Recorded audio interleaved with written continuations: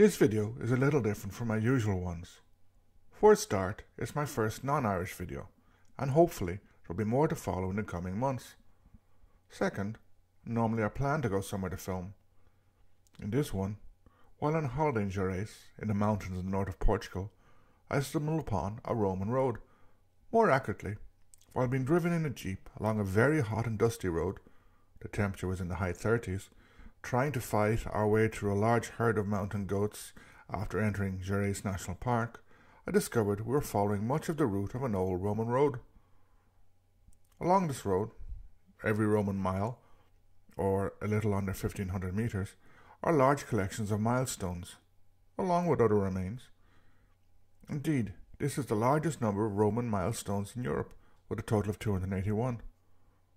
The survival of this many milestones is probably because the road passes through Serra de Gerês or Gerês Mountains, facilitating their preservation. The delightfully named Via Nova, New Road or New Route, or Via 18 from the Antonine Itinerary, a Roman document, probably from the 3rd century AD, which recorded Roman roads, their distances, and stations along the way, ran from the Roman city of Bracara Augusta, now called Braga in Portugal, to Asturica Augusta, now called Astorga in Spain, covering around 210 Roman miles, or 330 kilometers approximately. The first 34 Roman miles are in Portugal, between Braga and the frontier post at Portela do Homem. The rest is in Spain. It is called Via Nova because it replaced a previous road which went around the Gerês Mountains. Fortunately for us, the new road would run through the mountains instead of avoiding them. This probably resulted in the preservation of so many milestones and other evidence of Roman occupation, such as evidence of bridges and quarries where the stones were obtained. Moreover, much of the stretch running between milestone 29 and 34 is inside Gerês Forest Park and runs along the top part of the Homem River Valley in an area with few settlements. Undoubtedly, this contributed much to its preservation. Also, fortunately, the construction of hydroelectric dams in the area did not affect the road much. Only a small part of it was submerged. One of the reasons for this is that in this area the road reaches quite a high altitude. The mountain range climbs to a maximum of 1000 to 1300 meters.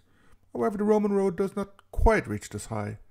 It seems to vary between 600 and 700 meters mainly, though the frontier with Spain at Portela do Homem is around 800 meters high. Although part of the road is wide, other parts run alongside steep slopes and cliffs, while parts of it are also now reduced to a track through the forest. I only followed the Portuguese side of the road, although the driver did enter Spain, but only for around one minute. It is probably possible to follow the entire length of the road from Braga to Astorga, though different means of transport would probably have to be used to do this. It was built around 80 AD by the governor of Hispania, or more correctly, Hispania Tarraconensis, Gaius Calpetanus Rantius Quirinal Valerius Festus. He was a friend or amicus of Emperor Vespasian. During the year of the four emperors, he was commander of Legio III Augustus in Africa and contributed to Vespasian's becoming emperor by assassinating the proconsul of Africa who supported a rival claimant.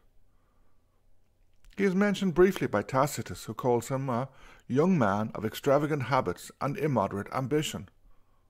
Perhaps it is his ambition which did for him in the end, as despite serving Vespasian and Titus well, he seems to have fallen afoul of the next Flavian emperor, and was forced by Domitian to kill himself.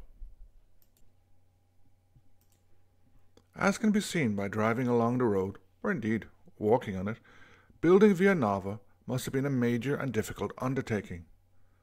Any Roman road involved considerable work, including levelling the terrain, digging ditches, and then laying the various levels of stones, sand, and gravel. Added to this on Via Nova was the building of bridges, quarrying stone for the road and for the milestones, the construction of mancios, a type of way station, and perhaps most difficult of all, adapting the road to the difficult terrain and climate of the road when crossing Serra do Gerês. although at times the road runs along a wide track, at others it hugs cliffs very closely. While today much of it goes through forest, one wonders whether this was true when it was built 2,000 years ago. In relation to climate, while the area is very dry in summer and subject to devastating forest fires, in winter it is one of the wettest parts of Portugal, and at times after storms the Homem River can rise suddenly by a few meters. Obviously, this can have a detrimental effect on constructed structures. While there are many milestones existing, there is relatively little left of the road itself. Returning to the milestones.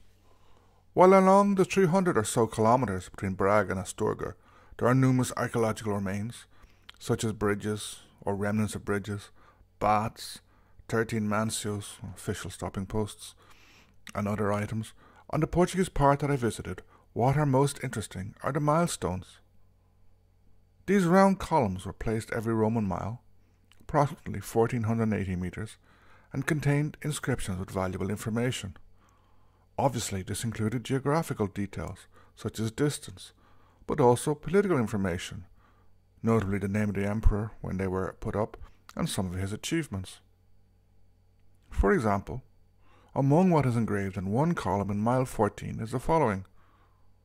In the time of the emperor Titus Caesar Vespasianus, son of Vespasian Augustus Pontifex Maximus, Tribunicia potestate for the ninth time, emperor for the fifteenth time, father of the patria, consul for the eighth time, the Via Nova was built by Gaius Calpetanus Rantius Quirinal Valerius Festus, Legato Augusti Praepatori, 14 miles to Bracara.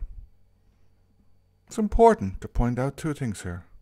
First, I've omitted a little part of this inscription, and second, and more importantly, it was not written out in full.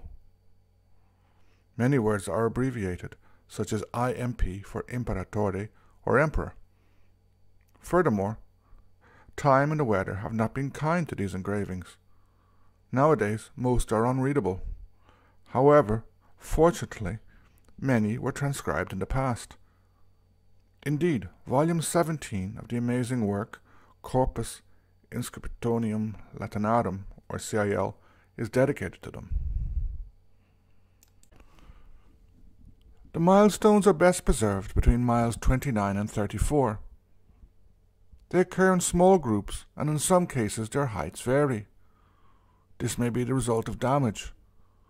Furthermore, not all the milestones are in their original position. Some were found buried and re erected. Others have been moved.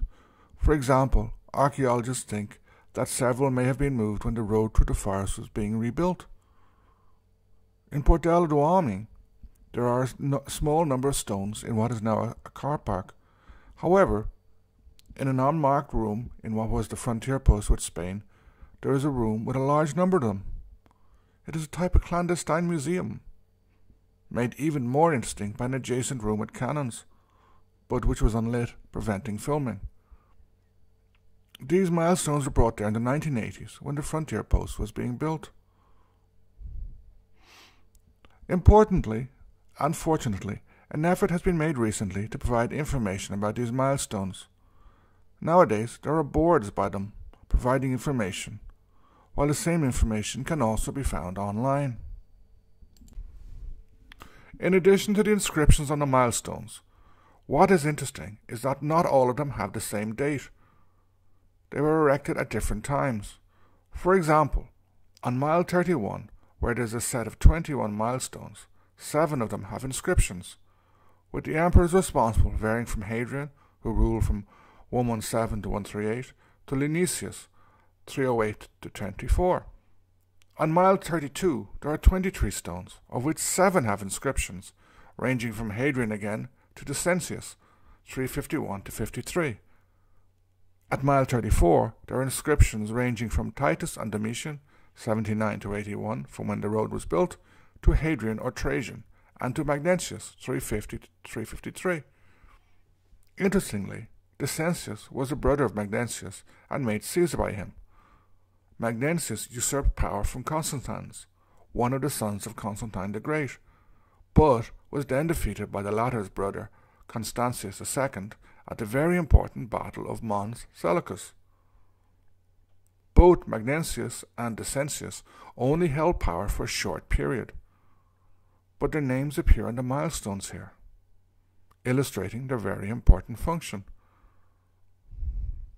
Other emperors mentioned include Nerva, 96 to 98, Caracalla, 198 to 217, datable from the year 214, Maximinus Thrax and his son Maximus, 235 to 238, and Decius, 249 to 251.